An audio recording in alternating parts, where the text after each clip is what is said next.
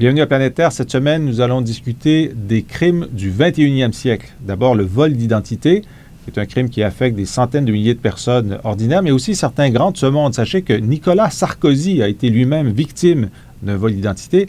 Nous allons discuter de ce phénomène avec un criminologue, Benoît Dupont.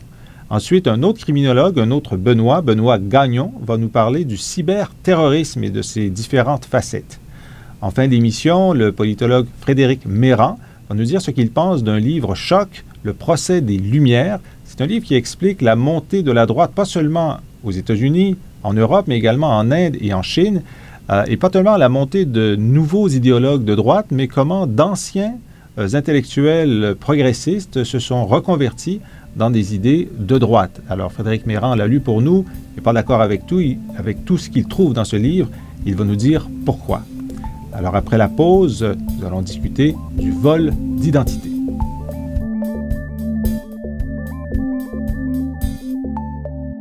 Qu'est-ce que Nicolas Sarkozy, le directeur du FBI, Louis Free et Ben Bernanke, le directeur de la, Banque de la Réserve fédérale américaine, ont en commun? Ben, ils ont en commun qu'ils ont été victimes ou tout près d'être victimes de vol d'identité. Alors imaginez si des gens aussi haut placés réussissent à se faire avoir, qu'est-ce qu'il en est des gens normaux comme vous et moi qui n'avons pas de garde du corps et de personnes qui euh, gèrent euh, notre, euh, notre, notre vie, notre identité comme ces gens-là? Bon, on en parle aujourd'hui avec notre invité, Benoît Dupont. Merci d'être là, Benoît. Bonjour. Alors, Benoît, vous êtes donc criminologue, vous êtes professeur au département de criminologie à l'Université de Montréal et vous êtes titulaire d'une chaire, la chaire de recherche du Canada en sécurité, identité et technologie. Vous avez publié, entre autres choses, le traité de sécurité intérieure. Vous avez co-dirigé cet ouvrage avec un certain nombre de vos collègues euh, euh, québécois, canadiens et européens. Euh, c'est donc disponible au Cahier du Québec, HMH, collection droit et criminologie. et vous venez de publier une note de recherche sur la question des vols d'identité. Mais d'abord, expliquez-nous les cas Sarkozy, Bernanke et Fry. Alors, c'est trois cas intéressants parce qu'ils représentent trois types de modalités de vol d'identité. Dans le cas de M. Sarkozy, euh, des employés de son fournisseur de télévision par câble ont communiqué à des euh, fraudeurs euh, des données personnelles, notamment son numéro de carte de crédit. et ces fraudeurs-là les ont utilisés pour acheter des abonnements de téléphone cellulaire qu'ils ont revendus ensuite à, des clients qui voulaient les obtenir à bas prix. Dans le cas de M. Mais alors, donc, lui s'en est rendu compte parce que tout à coup, sur sa facture de cellulaire, euh, non, sur sa facture bancaire, en fait, sa carte de crédit était utilisée pour payer des abonnements cellulaires d'autres personnes. D'accord. Donc, euh, effectivement, même si c'est un utilisateur intensif de téléphone cellulaire, euh, il y avait quand même des dépenses qui ne correspondaient pas à son, usage. Alors, il fallait qu'il ait le temps de vérifier correctement, lui ou quelqu'un, son comptable. Certainement. Parce que c'était 200 euros à peu près. Donc, il a vu qu'il y avait, il y avait quelque chose qui, qui, n'était pas de son ressort. Il est possible aussi que ça a été détecté par le fournisseur de, de câbles, qui a eu certainement euh, un phénomène, enfin, qui a eu des, euh, cas semblables avec de nombreux autres abonnés. Donc, Alors ça, c'est un cas de fraudeur un peu, euh, un peu étourdi parce que si on veut ne pas se faire repérer, il est préférable de ne pas piquer les, les, données du président de la République. Pas forcément, parce qu'il y a eu un cas au Canada aussi où le président de Rogers, le service de téléphonie cellulaire et toute la haute direction a été fraudé. Ted Rogers? Oui, parce que les fraudeurs comptaient sur le fait qu'aucun employé de la firme Rogers n'oserait euh, couper euh, l'abonnement téléphonique euh, souscrit de façon utilisée, ah, pirater. donc, toute la haute direction de Rogers, il y a, je pense, trois ou quatre ans, a été victime de fraude. donc, il y a peut-être aussi un calcul en se disant qu'avec un nom pareil, les employés vont être beaucoup plus précautionneux et donc les fraudeurs auront plus de temps pour essayer d'obtenir le plus de profit possible de leur fraude. D'accord. Dans le cas du directeur du FBI, il n'a pas été victime à proprement parler, mais il a failli être victime. Euh, il a failli cliquer sur un lien, il a reconnu, il a admis lui-même dans une, euh, conférence qu'il a donnée euh, pour sensibiliser justement les gens au vol d'identité qu'il avait failli un jour être victime de ce qu'on appelle l'hameçonnage ou le phishing, répondant de façon positive à un email soi-disant envoyé par une banque alors qu'en fait ce sont des fraudeurs qui se font passer pour la banque. Et depuis, il a admis que sa femme lui interdit de prendre le, contrôle des comptes bancaires du foyer en ligne. Et c'est elle qui se, qui se, réserve maintenant. Alors, de la ah. part du directeur du FBI, qui, a, qui, qui, émet des directives assez strictes sur justement l'hameçonnage. Alors, il n'a pas, il a, failli ne pas appliquer ses propres directives. Et je pense qu'il voulait mettre en relief le fait que c'est quelque chose auquel beaucoup de monde peut être tout à fait exposé et vulnérable. Et le président de la Réserve fédérale américaine? Dans son cas, à lui, c'est sa femme qui s'est fait voler son sac à main, qui contenait évidemment son portefeuille, et par un réseau de fraudeurs extrêmement bien organisé à l'échelle de tous les États-Unis. Et on s'en est rendu compte après, ils ont utilisé donc euh, les euh, papiers d'identité, les cartes de crédit de sa femme, qui était sur un compte euh, conjoint évidemment, pour frauder indirectement M. Bernanke. Euh, qui est lui-même responsable du bon fonctionnement du système financier américain. oui, mais aussi ce qu'il essaie, c'est de relancer le crédit aux États-Unis. Donc, à sa manière, euh, de façon un, peu micro, il a relancé un petit peu le crédit. Est-ce que ces, euh, ces auteurs de, de vol d'identité ont été appréhendés? Euh, dans le cas des auteurs euh, de M. Bernanke, oui, et également dans le cas des auteurs du vol d'identité de, relié à M. Sarkozy, également. Euh, pas dans le cas de M. Free, mais c'était une tentative, mmh. comme on en reçoit chacun par email tous les jours, nombreux exemples. Mmh. Alors, quelle est l'ampleur du vol d'identité? Alors cette ampleur-là, elle est difficile à mesurer, mais ce qu'on ce qu'on sait, c'est qu'au Québec, par exemple, selon des sondages qu'on a menés ces dernières années, il y aurait à peu près chaque année 340 000 Québécois qui sont victimes d'un vol d'identité dans lesquels ils subissent un préjudice financier. C'est énorme. C'est euh, faramineux. C'est le crime qui, qui, euh, qui, touche le plus grand nombre de gens. Certainement, certainement. Euh, le problème est que ces sondages-là ne sont pas reconduits chaque année. Donc on ne peut pas savoir si ce phénomène se développe, s'intensifie, euh, évidemment, ce sont des chiffres qui font un petit peu peur mmh. euh, aux institutions parce que euh, aux institutions publiques parce que c'est un crime qui n'est pas vraiment pris en compte mmh. par le système pénal à l'heure actuelle. Oui.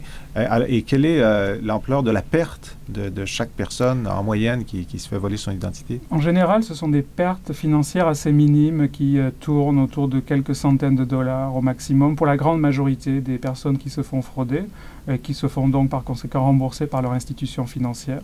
Euh, et des pertes qui dépassent 5 à 10 000 dollars sont vraiment, euh, représentent moins de 10 de l'ensemble des, des, cas de vol d'identité. Donc il y a quand même, euh, effectivement, c'est un, type de crime qui est très répandu, mais dont l'impact financier est assez limité. Sur les individus. Sur les individus. Mais ceux qui font ces crimes-là, combien ça leur rapporte alors, on a, on a, essayé de mener une étude à partir de, de cas d'arrestation qu'on a identifiés dans la presse nord-américaine. Et d'après notre échantillon, qui est évidemment biaisé, qui connaît un certain nombre de biais, mais quand même qui est mieux que rien, ce qui était euh, la situation qui régnait auparavant, en moyenne, ça leur apporterait 23 000 dollars. Par, crime non, Ou par, par, année par fraudeur arrêté. Euh, alors, dans certains cas, c'est par crime. Dans d'autres cas, ça peut être sur une période de plusieurs semaines ou de plusieurs mois. Mhm. Mais euh, c'est 23 000 dollars par individu. Donc, ce sont des gens qui opèrent en général de façon isolée contrairement à ce qu'on pense. C'est pas des, la majorité des fraudeurs ne sont pas des gens euh, qui évoluent dans des structures organisées. Mhm. Ça, c'est réservé à un petit groupe d'individus. Euh, Donc, ces gens qui font ça chez eux, dans leur sous-sol, avec leur ordinateur qui... Pas du, pas du tout, euh, la plupart du temps avec des ordinateurs, mais qui vont, parce qu'ils travaillent dans des entreprises dans lesquelles ils ont accès à des bases de données contenant des informations personnelles, vont piocher dans ces bases de données-là, qui vont voler des petits voleurs à la tire, qui vont prendre euh, des portefeuilles, des sacs à main, c'est la grande majorité des cas, et qui auparavant auraient pris les espèces et maintenant euh, utilisent les papiers d'identité ou les cartes de crédit ou de débit pour commettre leur fraude, euh, ce qui atteste bien de la facilité avec laquelle n'importe qui peut utiliser des donc c'est un, crime de, de, basse technologie finalement. Donc voilà la tire, donc redéploiement de l'utilisation de ce qu'on vole et euh, donc, vous le dites, ce sont les employés, et là, il y en a des, centaines de milliers, qui ont accès à des banques de données dans lesquelles il y a des informations personnelles. Alors, peu importe qu'on protège notre carte de crédit, si c'est ceux qui l'ont dans le système qu'on pense protéger qui ont accès, ben, euh, effectivement, il n'y a pas grand-chose à faire. C'est ça qui est très problématique à l'heure actuelle, c'est que les programmes de prévention et de communication et de sensibilisation gouvernementaux insistent sur la responsabilité individuelle des citoyens.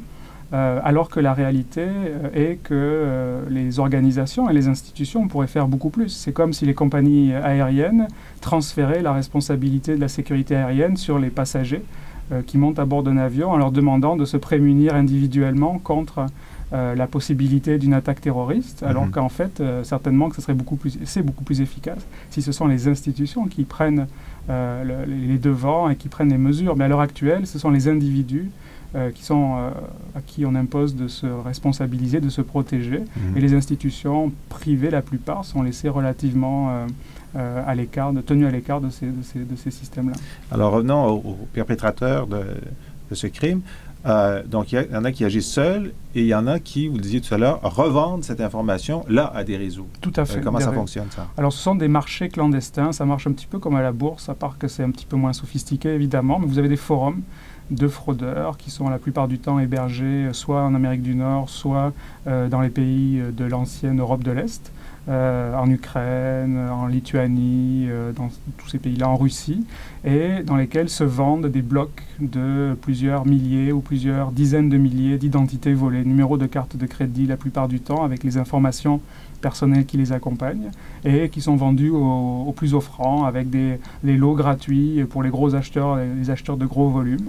Des lots gratuits, qu'est-ce que ça veut dire ben, Ça veut dire que si vous achetez 1000 euh, numéros de carte de crédit, que vous allez payer 10 euh, dollars le numéro, on vous en offrira 50 euh, gratuitement. Et ça vaut combien un numéro de carte de crédit? Ça varie selon la provenance. Donc les cartes de crédit nord-américaines valent plus cher que les cartes de crédit asiatiques et latino-américaines et moins cher que les cartes de crédit européennes. Et, je suppose que les cartes de, crédit de Dubaï doivent être les plus chères. Certainement, elles sont extrêmement chères. Ceci dit... Si vous avez une idée de la fourchette, je veux dire, pour les les États-Unis.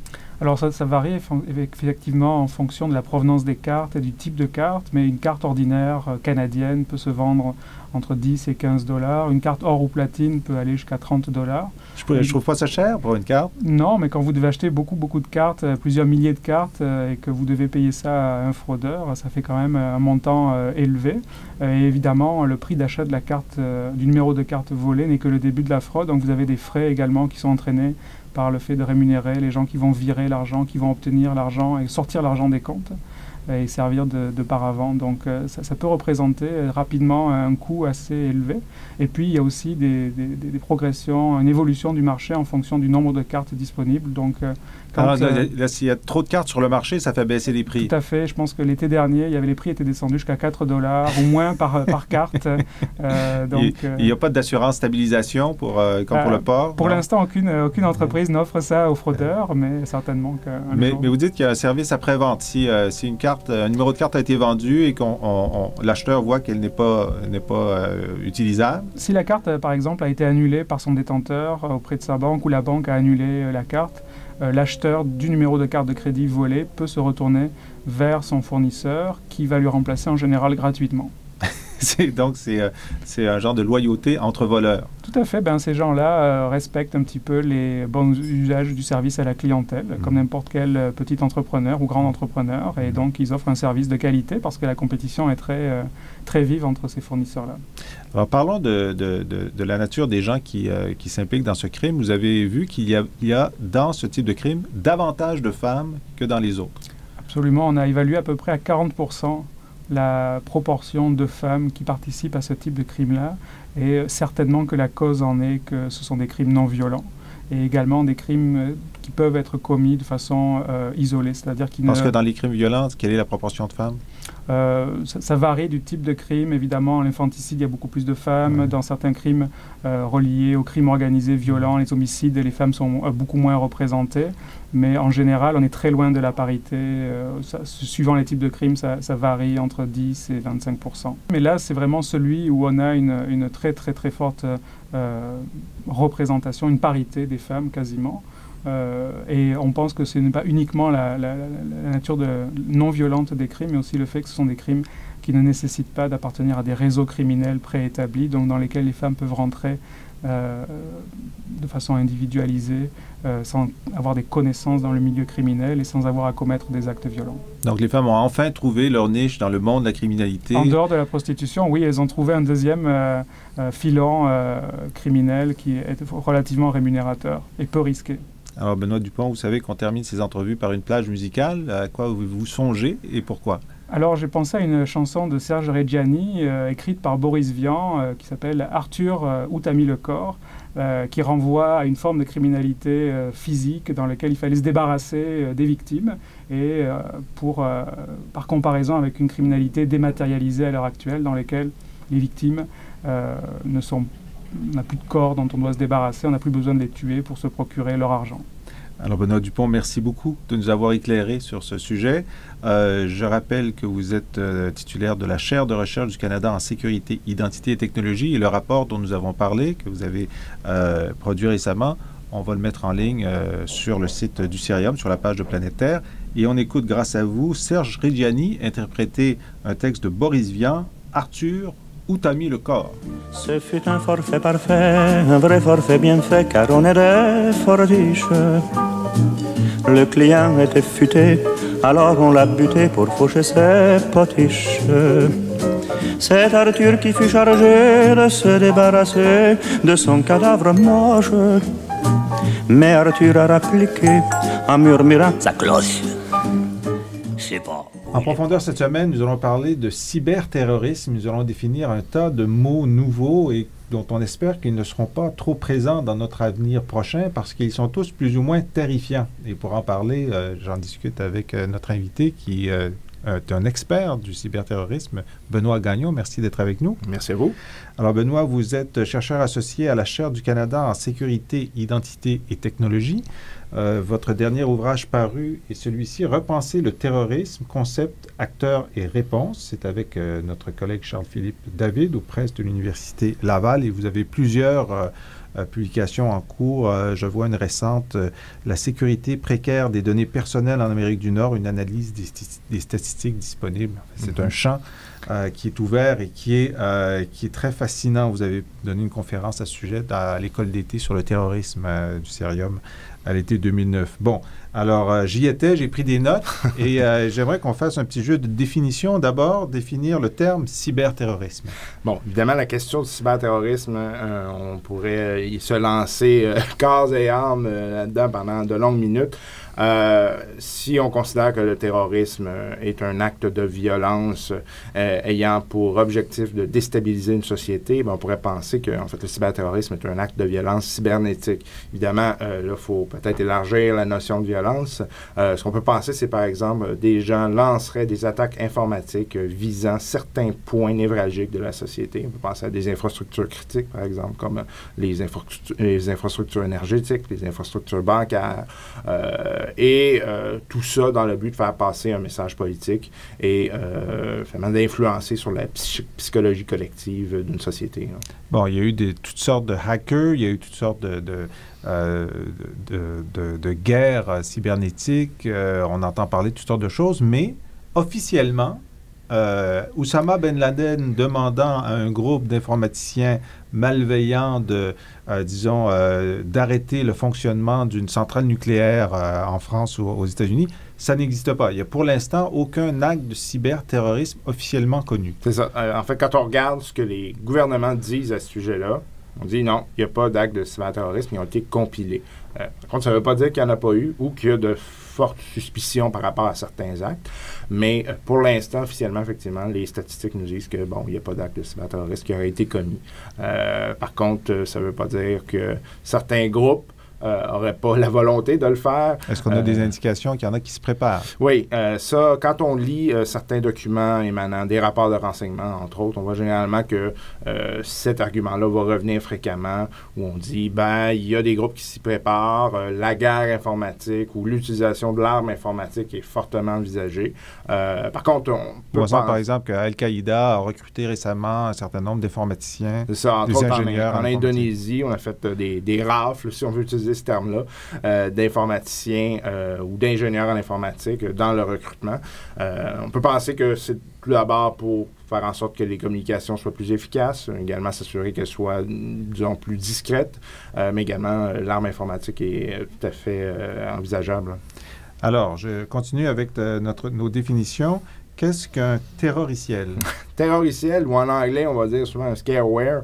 Terroriciel, c'est essentiellement on joue sur la, psychologie de l'utilisateur pourrait euh, dire que c'est une forme d'ingénierie sociale où en fait on joue sur euh, la capacité de l'utilisateur à analyser son environnement. Ce qu'on fait, c'est qu'on utilise un peu le discours ambiant sur la sécurité informatique. Les gens sont au courant que euh, la sécurité informatique, c'est un problème, qu'ils doivent sécuriser, sécuriser leur machine, qu'ils doivent faire en sorte que leur ordinateur ait des antivirus, des murs pare-feu, etc. Finalement, on exploite ça et vous arrivez sur un site, il y a une fenêtre qui surgit dans euh, votre euh, furteur et on vous dit votre ordinateur n'est malheureusement pas bien sécurisé. Mhm. Nous avons la solution pour vous, par contre. Euh, et malheureusement, cette solution-là est souvent futile, c'est-à-dire qu'on vous fait payer un montant X pour une solution qui, de toute façon, déjà à l'intérieur de votre ordinateur, mais souvent également, il y a euh, des maliciels qui sont présents. Donc, on, un maliciel, c'est un logiciel qui un logiciel la malveillant. Voilà, voilà. Donc, on, vous fait télécharger un maliciel qui, finalement, a pour objectif d'ouvrir votre ordinateur, euh, de faire en sorte qu'un pirate informatique puisse le contrôler à distance. Bon. Euh, et donc, ce qui nous amène, mais je, je vais parler d'abord du dévisagement oui, dévisagement. Ça, c'est une technique qui est relativement fréquente et souvent on la compare à du cyberterrorisme, même si on pourrait appeler ça de l'espèce de cyber-vandalisme ou du...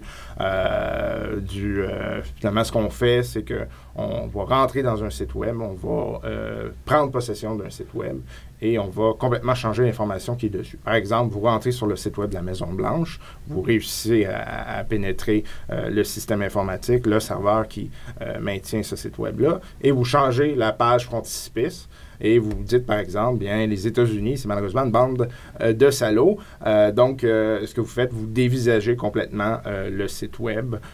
et il y a des groupes qui se spécialisent là-dedans. On pourrait donc appeler ça une forme d'activisme mhm. politique, mhm. donc un peu plus virulent au niveau informatique. Et, vous disiez que, comme c'est quelque chose qui est relativement facile à faire, pour ceux qui s'y connaissent, c'est parfois un genre de test euh, qu'on donne à, un membre d'un réseau en disant, bon, mais toi, montre-nous ce que tu sais faire, va dévisager une dizaine de, sites ou une centaine de sites euh, gouvernementaux. Effectivement, les groupes euh, de pirates sont un peu plus organisés, vont souvent faire ça comme ça. C'est-à-dire que, bon, c'est une espèce d'initiation. Euh, vous allez dévisager quelques sites importants pour démontrer, un, votre volonté à faire partie du groupe, deux, votre capacité technique, mais également, trois, le fait que euh, vous êtes effectivement euh, contre certains mouvements ou certains mouvements politiques, par exemple. Bon, alors vous êtes allé sur un site, vous avez, le site vous a dit, je, je, vais vous aider à mieux vous protéger, vous avez cliqué oui, il ne fallait pas le faire, et là, il y a un maliciel qui est entré dans votre ordinateur.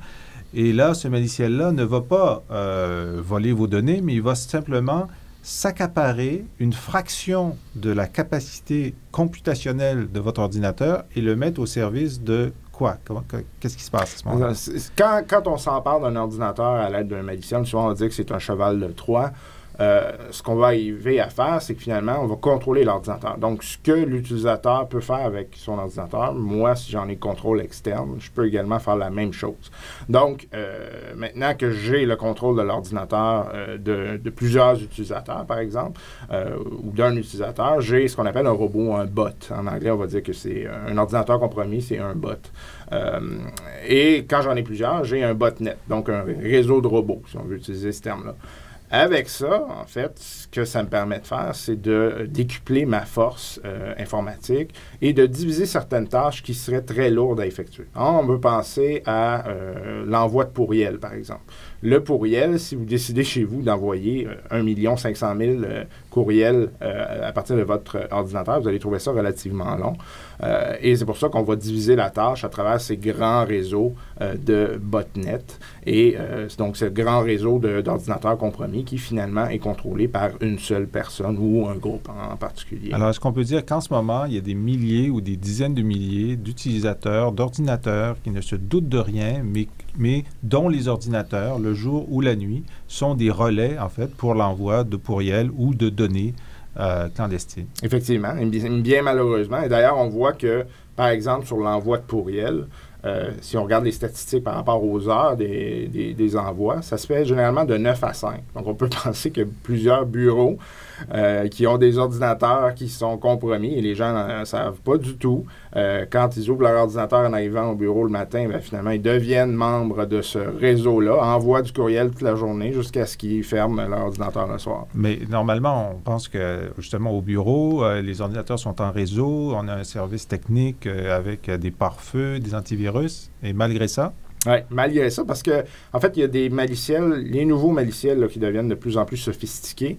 Euh, D'abord, ce qu'on fait, c'est qu'on demande à l'utilisateur, on dit à l'utilisateur de télécharger un logiciel. Mm. Avec les terroriciels, par exemple, c'est vraiment euh, ce qui se produit. Euh, donc, vous faites la mécanique qui est normalement empêchée par des antivirus, etc.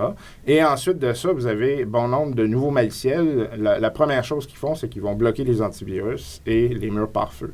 C'est la première ah étape. Donc euh, là, C'est comme si on avait donné la clé, finalement. Oui, exactement. Et mm. c'est, euh, finalement, vous rentrez derrière les, les, barrières et vous euh, défaites la défense comme ça. Bon. Alors, vous disiez dans votre conférence que, bon, de toutes sortes de groupes de, de, pirates, finalement, idéologiques ou non idéologiques, mm-hmm. ont constitué ces botnets qui ont une valeur, et là, ils les louent. Oui, ça, c'est une des grandes tendances qu'on voit, entre autres, dans la criminalité organisée. Euh, ces botnets, ces grands réseaux, vous permettent de faire bon nombre de choses. On en parlait tout à l'heure avec euh, le pourriel. Évidemment, si vous voulez faire de la publicité sur un nouveau produit, ça peut éventuellement être très, euh, très intéressant. Donc, on vous dit, contre une somme X, Y, vous allez pouvoir utiliser notre, notre réseau sans problème, envoyer le courriel que vous voulez, et bon, nous, on se charge de tout. Et il y a même l'autre étape, parce que les botnets sont également utilisés pour faire des attaques informatiques un peu plus virulentes. On pense entre autres à ce qu'on appelle des dénis de services distribués. Euh, ce qu'on fait, c'est qu'on exploite ce grand réseau-là. On pointe tous les ordinateurs vers une cible et cette cible se voit déborder d'informations et finalement finit par euh, se déconnecter en disant non, non, c'est trop d'informations, je ne peux plus traiter. Donc, ce qu'on dit, c'est que, vous voyez, on peut faire ça avec un réseau de botnet. Éventuellement, c'est possible que euh, si vous avez des concurrents, par exemple, mm-hmm. une compagnie concurrente, ben nous, on peut utiliser le réseau de botnet en moyennant un montant XY et on va relancer euh, tout notre réseau contre la cible que vous voulez viser. Hmm. Alors, quand on regarde toutes ces possibilités, on se dit, c'est quand même fou qu'il n'y a pas un groupe de terroristes qui l'ait utilisé à, des fins, euh, à, leur fin, à leur fin idéologique à eux. Mais ce qu'on voit cependant, et on entend parler de d'attaques euh, cybernétiques, d'attaques sur le web, de la Chine vers les États-Unis, des États-Unis vers la Chine. alors, si ce ne sont pas des terroristes, qui le font? Ah, et là, c'est là qui est intéressant parce qu'en fait, on fait face à un grand terrain de jeu. Et ce terrain de jeu-là est occupé par une myriade d'acteurs, que ce soit l'État, les services de renseignement, l'armée, les individus, la criminalité organisée, la criminalité désorganisée, les terroristes. Bref, vous avez euh, une peuplade incroyable sur ce terrain de jeu-là. Et chacun utilise à peu près les mêmes outils euh, et vont euh, tenter de faire les actions qui vont aller en fonction de leur intérêt. en ce moment, ce qu'on voit, c'est beaucoup l'intégration de l'armée à travers ça. C'est-à-dire que l'armée utilise de plus en plus les outils informatiques pour euh, euh, éventuellement faire de la défense, on va surtout parler d'infodéfense, mais également euh, l'infogaz, c'est-à-dire des opérations offensives. Et en ce moment, on est vraiment dans des périodes de test, c'est-à-dire que les armées du monde vont lancer des attaques sporadiques pour essayer, pour tester leur réseau. Ils vont souvent les lancer contre eux-mêmes. D'ailleurs, les États-Unis le font fréquemment. Ah oui. donc, on va tester à la fois notre défense, mais également notre capacité à l'attaque. Mais c'est quand même très agressif. Ça veut dire que les États-Unis vont dire, bon, ben, cette semaine, on va cibler euh, les défenses Internet chinoises. donc, euh, on va le faire directement ou indirectement. Et les Chinois le font contre les États-Unis. Et d'ailleurs, ce qui est troublant, c'est qu'ils ils ne s'en plaignent pas beaucoup parce que c'est un jeu qui se fait à deux. Et, euh, et, on peut penser aussi qu'ils peuvent déléguer aussi. Les Chinois, c'est pas l'État, ils délèguent au crime organisé ou à des pirates? Euh? Probablement. On peut penser, entre autres, la Russie euh, semble assez forte là-dedans. Euh, c'est-à-dire qu'il y a des attaques qui, qui, émanent souvent de Russie contre des États qui sont souvent de l'Europe de l'Est. Puis là, à un moment donné, on dit, bon, écoutez, nous, on n'est pas responsable de cette situation-là. Puis effectivement, on finit par trouver qu'il y a des gens qui sont soit chez eux ou des groupes qui sont un peu nébuleux qui mm. lancent ces attaques-là. On peut penser qu'il y a une forme de délégation, mais la beauté de l'outil informatique, c'est justement que ça ça réduit la capacité de l'État d'agir par rapport à l'individu et en même temps, ça donne plus de puissance à l'individu. Donc, effectivement, on peut parler de la montée de la guerre de salon, un terme que j'aime bien utiliser. C'est-à-dire que si vous êtes mécontent d'une situation politique, les outils se trouvent sur Internet vous pouvez les réutiliser, éventuellement tenir tête à des États et faire euh, euh, bon nombre de dégâts euh, relativement facilement. Ben, justement, parlez-nous de ce qui s'est passé en, Estonie à, l'été 2009. Oui, donc en Estonie, il y a eu des attaques relativement virulentes qui ont été faites contre le gouvernement.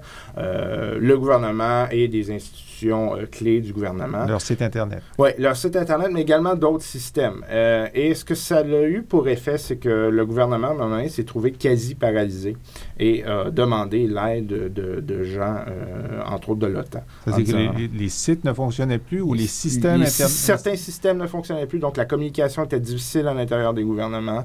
les sites Internet étaient plus fonctionnels, donc c'était également difficile pour communiquer, par exemple, les, les, les citoyens, pour que les citoyens communiquent avec le gouvernement. On sait que le gouvernement estonien, c'est un des gouvernements les plus en ligne, si on peut utiliser ce terme-là, en Europe de l'Est.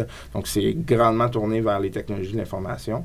Euh, donc euh, là, ça a mis le gouvernement dans une situation assez, euh, assez difficile et a demandé l'aide de l'OTAN en mhm. disant, OK, là, on doit régler cette situation-là autrement. Et est-ce qu'on a trouvé le responsable ou les oui, responsables? Finalement, le responsable a été découvert en Russie. C'était un, un, ancien citoyen estonien qui était mécontent d'une situation politique qui a décidé de lancer des attaques informatiques depuis chez lui. Un citoyen? Oui. Un citoyen chez lui. Oui, et lui avait en sa possession un réseau de botnet. Donc, avec euh, quelques milliers d'ordinateurs, a pu effectivement euh, mettre en, déstabiliser un État.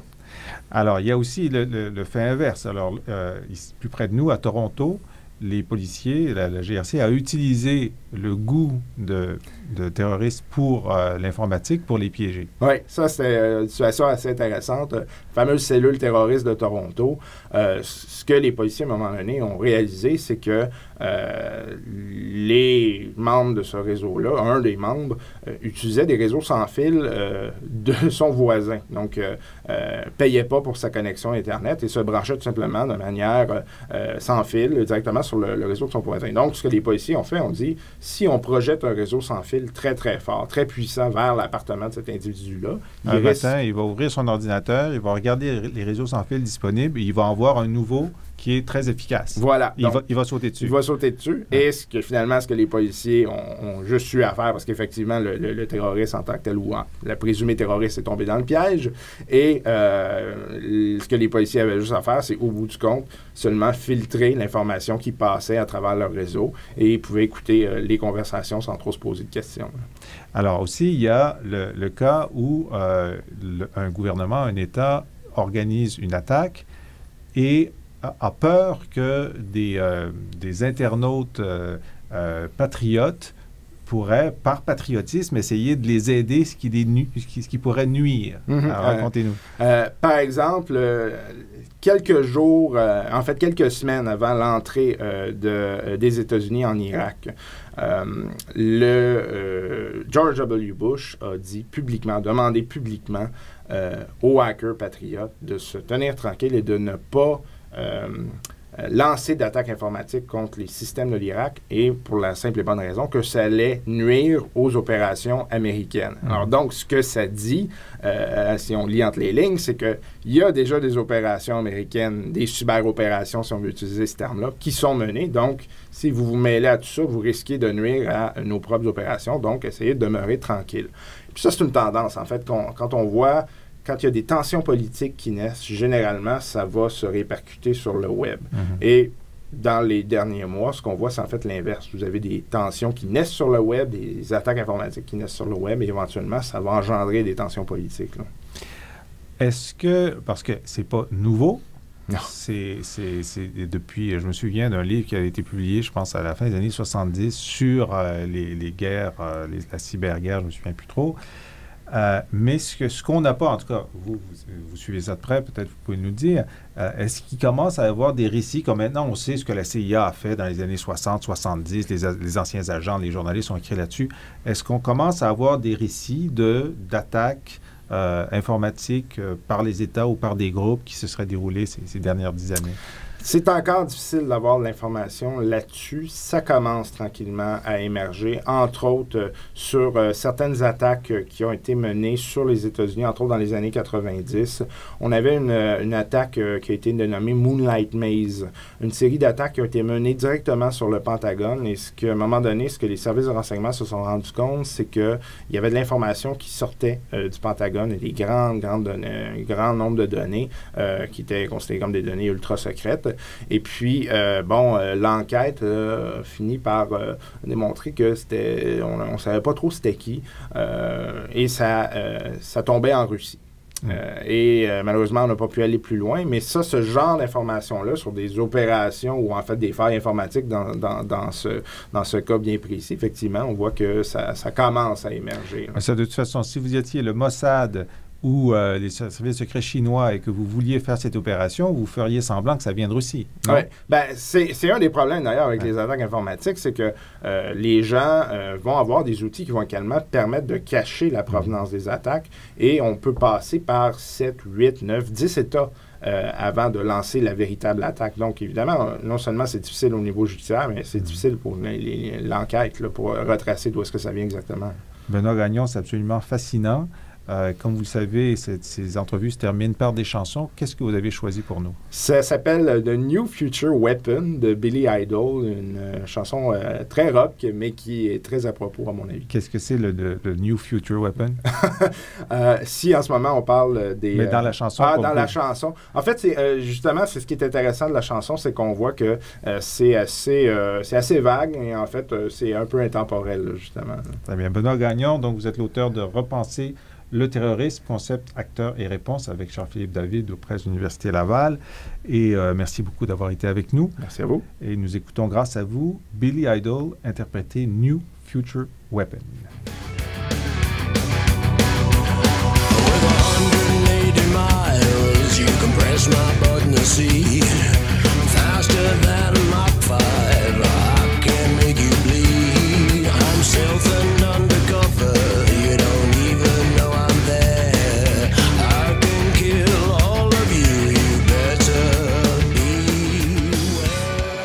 Sommes de retour à Planète Terre, l'émission des chercheurs du Cérium, et nous en sommes à notre euh, section recension. Et nous avons avec nous un de nos lecteurs les plus fidèles et les plus voraces, Frédéric Méran. Merci d'être là, Frédéric. Bonjour Jean-François. Alors, vous êtes professeur de sciences politiques à l'Université de Montréal. Vous avez co-dirigé avec vos collègues ce livre, euh, La politique internationale en question, qui est un, colligé intelligent de, réponses à des questions internationales par euh, vos collègues du département de sciences politiques.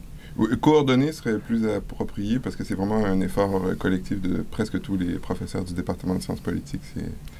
Très bien. Et vous avez lu pour nous cette semaine le dernier livre de Daniel Lindenberg, Le procès des Lumières. Et ça me rappelle que le soir où euh, euh, George W. Bush a été réélu à la présidence américaine, enfin le lendemain, à la, dans Le Monde, Zaki Laidi du série avait un article intitulé Les Lumières s'éteignent à Washington. Alors donc, euh, c'est un peu dans cette mouvance que s'inscrit ce livre. Dites-nous d'abord qui est euh, Daniel Lindenberg? Alors Daniel Lindenberg est un historien des idées, un intellectuel euh, français qui a jeté un pavé dans la mer il y a quelques années, en 2002, avec un livre qui s'appelait Le rappel à l'ordre, une enquête sur les néo-réactionnaires qui avait provoqué une assez grande polémique où il disait essentiellement que plusieurs historiens intellectuels euh, français qui croient être euh, progressistes ou de gauche, en fait, euh, défendent des idées qu'il appelait donc néo-réactionnaires, un retour à l'ordre traditionnel, voire parfois religieux. Et donc, dans ce livre-là, il poursuit un peu, c'est un peu la même démarche, c'est ce que mon collègue Augustin Simard du département de sciences politiques appelle le flingage, c'est-à-dire que il flingue un nombre assez considérable euh, d'intellectuels qu'il associe dans le monde entier. Donc là, c'est un ouvrage sur la mondialisation de, des idées de droite. des idées de droite. Euh, d'ailleurs, le bandeau sur le livre, c'est pourquoi le, monde vire à droite? Et donc, il le fait en Inde, en Chine, aux États-Unis, euh, au Brésil, même au Canada. Donc, il, élargit son, son spectre. Alors, quelle est selon lui la cause de cette contagion des idées de droite? Alors, justement, le principal problème du livre, c'est qu'il ne nous dit jamais véritablement quelle est la cause. Il catalogue la diffusion des idées de droite. Donc, il se cantonne à son rôle euh, vraiment d'historien des idées, mais il ne nous donne pas tellement le contexte sociologique et historique. Ce qu'il nous dit, c'est qu'il semble y avoir une réaction contre donc, le, progressisme des Lumières, euh, qui prend deux formes. D'un côté, certains auteurs qui reviennent à euh, valeurs presque religieuse, soit du judaïsme, soit du catholicisme, soit en Inde, par exemple, euh, de l'hindouisme. Et ça, c'est ce qu'il appelle des athées dévots, c'est-à-dire que ce sont des gens modernes qui, à la limite, ne sont pas croyants, mais qui tiennent aux valeurs traditionnelles. Et un autre mouvement parallèle qui euh, sont plutôt des, relativistes, euh, des, des, Nietzschéens, donc des gens qui rejettent aussi l'idée de progressisme, mais au nom finalement de l'impossibilité d'adhérer à des valeurs modernes. Et bon, euh, ce qui est intéressant là, c'est qu'on le savait pour les États-Unis, on le savait pour l'Europe, on le sait pour le Canada, mais c'est qu'il l'étend effectivement à la Chine et à l'Inde. Bon, en Inde, vous dites un retour de l'hindouisme chez certains progressistes, mais en Chine, c'est, je suppose, le retour de Confucius. Alors, euh, pour moi, c'est difficile de juger, euh, notamment en raison de la façon dont le livre est écrit. C'est-à-dire que lorsqu'on connaît bien un milieu ou qu'on connaît à peu près un milieu intellectuel, dans mon cas, je connais à peu près la France, les États-Unis, un peu moins l'Allemagne, c'est facile à suivre, mais lorsqu'il euh, parle euh, de la Chine ou de l'Inde, on doit un peu le croire sur euh, parole. parce que moi, tous ces intellectuels ne me disaient mais alors, absolument rien. lorsqu'il parle des régions que vous connaissez, est-il convaincant? il est convaincant dans la mesure où il nous montre effectivement que plusieurs intellectuels adhèrent à des positions qui, justement, s'apparentent à un certain euh, traditionnalisme. Euh, mais le problème, c'est que c'est difficile de le juger parce que souvent, ils coupent les coins un peu ronds. Ils ne nous mhm. expliquent pas leur pensée dans le détail, comme je disais. D'ailleurs, il le dit lui-même. Il dit l'histoire des idées, euh, ça s'apparente au travail du flic. Donc, il nous désigne les coupables, d'une mhm. certaine manière, mais il ne va pas nécessairement dans le détail de leur pensée. Et surtout, euh, même s'il établit des liens entre les différents auteurs, il ne nous montre pas comment, par exemple, ces gens-là pourraient être liés au succès de certains partis politiques ou de certains mouvements sociaux ou de dirigeants, alors que c'est le contexte dans lequel s'inscrit son livre, c'est-à-dire la montée de la droite traditionnelle et des idées traditionnelles ou du populisme, mhm. voire du néofascisme dans plusieurs pays comme la France, l'Italie, les Pays-Bas, les États-Unis euh, ou l'Inde. Donc, donc, c'est assez ciblé. Il fait, euh, par exemple, il prendrait le cas de Régis Debray, donc un ancien gauchiste, euh, révolutionnaire, proche de Che Guevara, proche de Fidel Castro, qui sait, à la fin de sa vie, il est toujours vivant et très productif, euh, qui a vu les, les, euh, les, bienfaits du gaullisme et du christianisme. Lui, il le considère comme quelqu'un, un athée dévot, qui a, qui a quitté le mouvement progressiste, alors qu'on peut faire la démonstration que sur un, un grand nombre de questions, Debré est toujours progressiste. Alors, dans la mesure où il y a un argument dans le livre, effectivement, on retrouve souvent ces, trajectoires d'intellectuels qui sont passés du mouvement d'extrême gauche, donc que ce soit le trotskisme aux États-Unis pour les néoconservateurs, euh, la gauche prolétarienne dont Lindenberg a fait partie en France, donc qui était des maoïstes. ça, c'était des maoïstes. Euh, en France. Euh, bon, évidemment, Régis Debray, lui, était guévariste.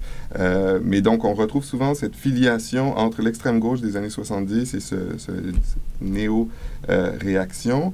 Lui pense que ce sont quand même, il ne se prononce pas sur les questions politiques, sociales ou économiques, il pense quand même que ce sont des gens qui fondamentalement euh, récusent l'idée du euh, progrès intellectuel et euh, social qui était contenu dans l'idée des Lumières. Donc, si on retourne chez Kant... à ça. Expliquez-nous donc en quoi l'idée des Lumières serait une norme et quelle serait cette norme?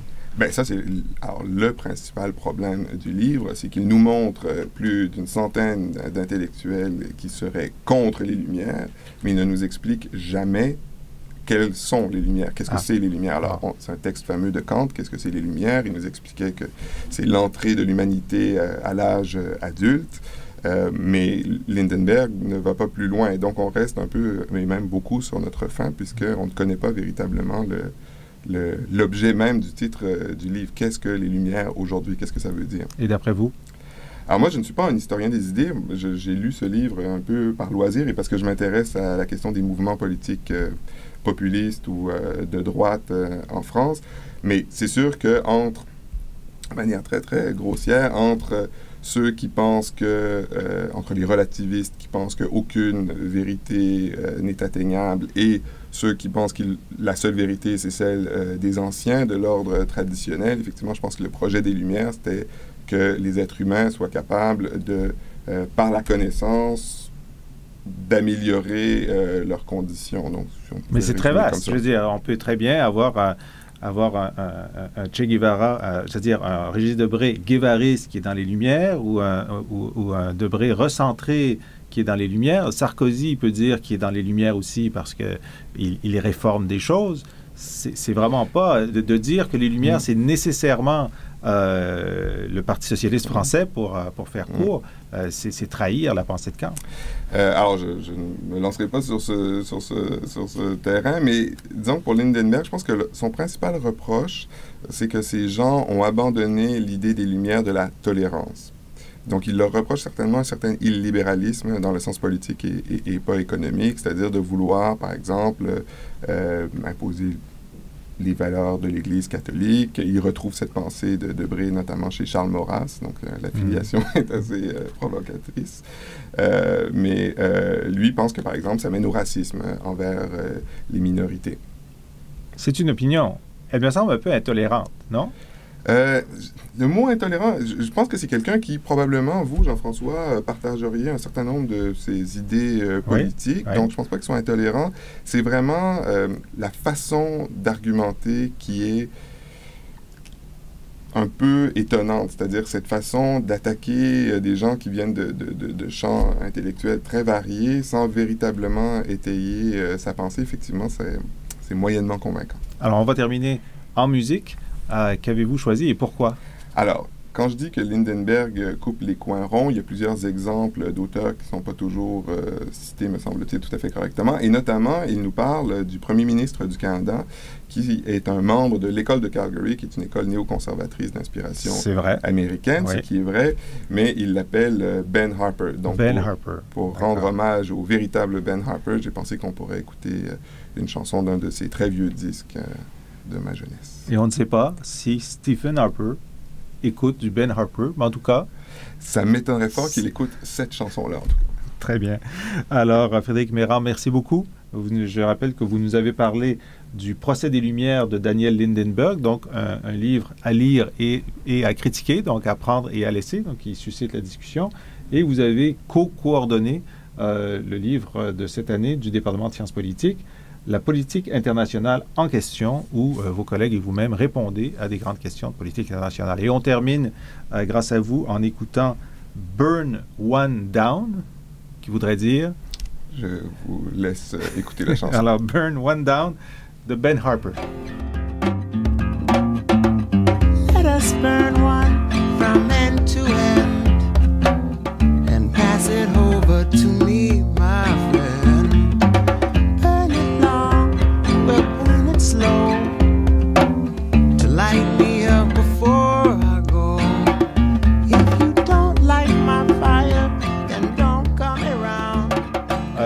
savez, si vous êtes intéressé aux livres dont nous avons parlé ou aux biographies des personnes que nous avons interviewées, vous allez sur le site serium.ca, euh, cliquez sur Planète Terre et vous pourrez avoir ces informations. Par ailleurs, vous y verrez aussi les annonces des conférences publiques qui s'en viennent au Serium. Elles sont ouvertes. Nous vous invitons à venir y assister. Vous pouvez aussi voir sur le site euh, les vidéos des émissions précédentes de la série Planète Terre. Je remercie l'équipe technique, Luc Laflamme, Ognian Guerguiev et Jean-François Da Silva Larue. Et je vous souhaite euh, une bonne semaine et à la semaine prochaine.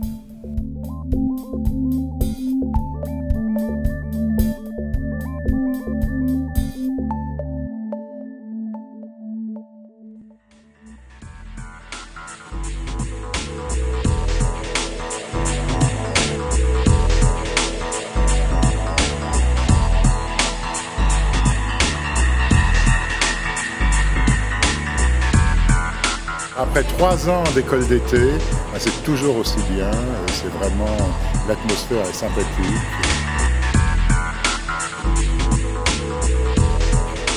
C'est une chance vraiment unique pour nous de pouvoir euh, essayer de parsemer encore plus notre éducation.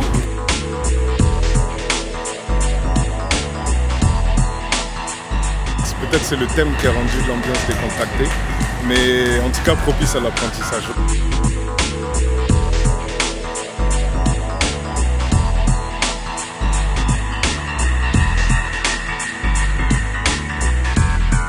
J'apprends énormément de choses sur mon propre travail. Je trouve que c'est enrichissant.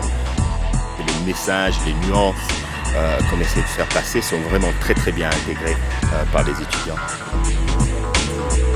Au bout d'un moment, il se crée une espèce de communauté, ce qui fait qu'on a un certain nombre de questions qui, même si elles ne sont pas au programme, viennent traiter dans le cadre des discussions. Je me rends expert moi-même en faisant ça.